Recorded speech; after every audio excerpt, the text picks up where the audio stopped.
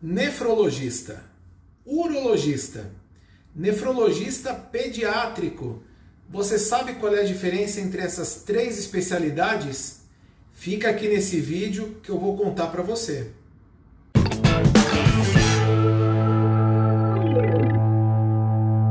O motivo de tanta confusão na hora de escolher um especialista que trata do sistema geniturinário está no fato das três especialidades, a nefrologia, a urologia e a nefrologia pediátrica, serem especialidades com muitas semelhanças, mas elas também têm grandes diferenças.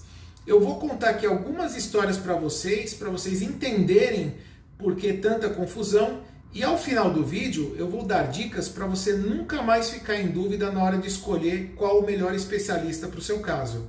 Uma das situações que eu já passei, por exemplo, foi na época que eu trabalhava na prefeitura de São Paulo. Eu tinha uma agenda de nefrologia adulto, lá ficava bem claro que era a partir dos 12 anos de idade, mas eventualmente o pessoal, por engano, marcava ali uma criança. Era muito chato. Eu ia começar o atendimento, chamava o paciente e entrava uma mãe com uma bebezinha no colo. E aí só me restava falar: olha, ela precisaria ter passado num nefrologista pediátrico. E a mãe, mas eu aguardei seis meses por essa consulta e agora o que, é que eu vou fazer? E aí taca a gente ali correr para tentar ajudar. Essa era uma situação bem complicada. Outra situação também bem saia justa, alguns anos atrás, uma moça que eu atendi, ela agendou a consulta, passou pela secretária, era uma consulta particular, acertou o valor, a gente fez o recibo e quando ele entrou dentro da sala, eu perguntei qual o seu problema, né? Qual o motivo da consulta, o que, que te traz aqui?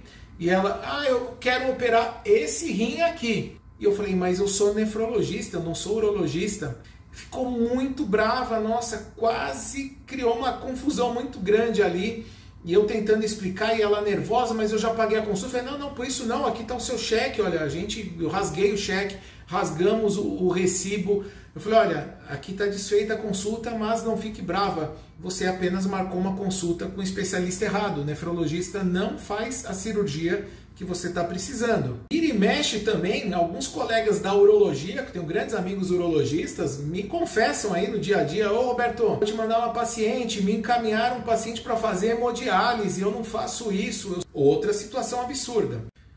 E os nefrologistas pediátricos acreditam que estejam livres desse tipo de problema porque é uma especialidade tão difícil, tão rara de se conseguir, que quando o paciente chega até eles é porque realmente o caso é de nefrologia pediátrica. Então, pessoal, mas por que tanta confusão entre as três especialidades, né? As três tratam de doenças do sistema gênito-urinário. Mas qual é a diferença fundamental entre as três? Vamos lá. Primeira diferença, a formação dos três especialistas.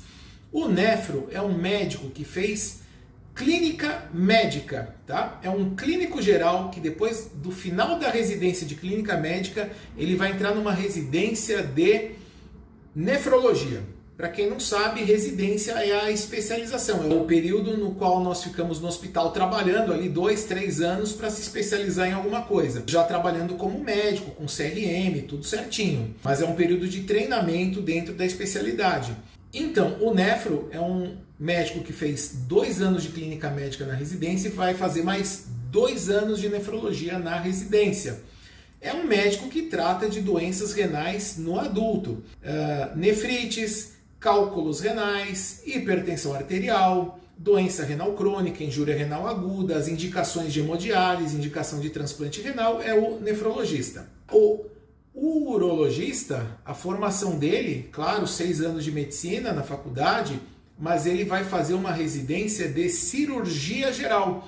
Então, o urologista, de formação básica, ele é um cirurgião. Ele pode operar uma apendicite, por exemplo, ele pode drenar um tórax, né? Essa é a formação geral do cirurgião. Mas ele vai se especializar mais dois anos em urologia, que é a especialidade que trata dos problemas cirúrgicos do trato urinário, né? Dos tumores, dos cálculos renais, sondagens, com procedimentos endourológicos, a realização do próprio transplante renal, né? De tirar o rim de um paciente e colocar no receptor.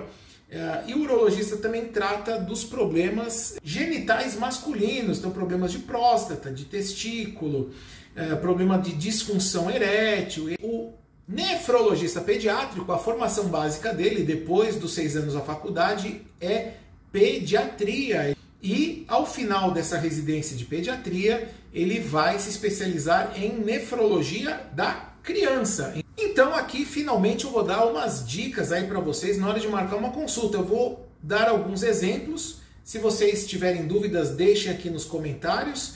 Eu acho que nessa altura do campeonato você já curtiu esse vídeo e já se inscreveu no canal.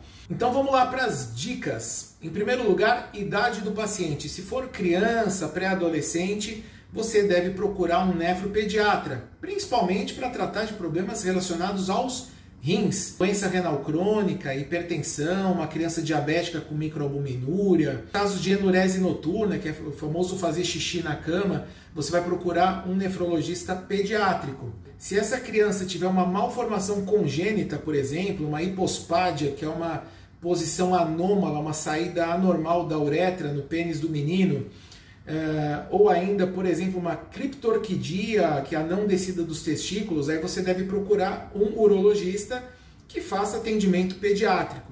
No caso de adolescentes já de 15, 16 anos, você vai procurar, aí no caso, um nefrologista ou um urologista se for então problema de, de pênis, testículo, é, cirurgia de fimose, essas coisas todas vão cair para o urologista.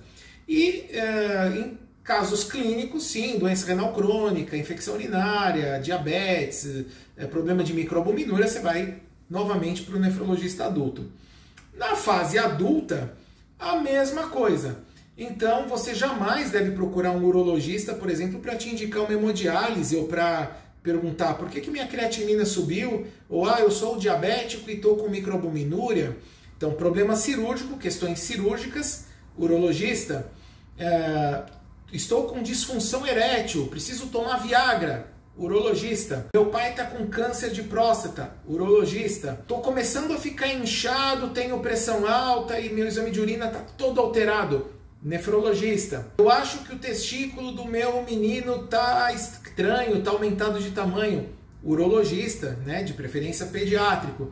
Em resumo, Problemas é, pediátricos vão no nefropediatra, né? Criança com problemas clínicos, nefropediatra. Criança com problemas ali que possam necessitar de, de cirurgia, de alguma intervenção, de algum exame mais intervencionista. Urologista com atuação em pediatria. Problemas clínicos já na fase adulta, nefrologista, né? Diálise, transplante, uh, hipertensão, diabetes, microalbuminúria, investigação metabólica de cálculos renais, nefrologista adulto e, finalmente, uh, problemas relacionados à próstata, disfunção erétil, cirurgia da bexiga e tudo, urologista, né? Lembrando que algumas, algumas situações clínicas podem ter uma confluência entre essas especialidades. Então, é, tem algumas doenças que o paciente vai precisar ter um acompanhamento com o nefro e com o uro, por exemplo, cálculo renal. É, alguns urologistas fazem o estudo metabólico, mas muitos não fazem, então isso cai no nefro para fazer a investigação é, de como está o seu cálcio no sangue, ácido úrico. Se o paciente tiver grandes cálculos, problemas obstrutivos com necessidade cirúrgica, vai cair no urologista. Eu sou o Dr. Roberto Galvão, médico nefrologista Agradeço você ter assistido esse vídeo até aqui. Até a próxima e um grande abraço.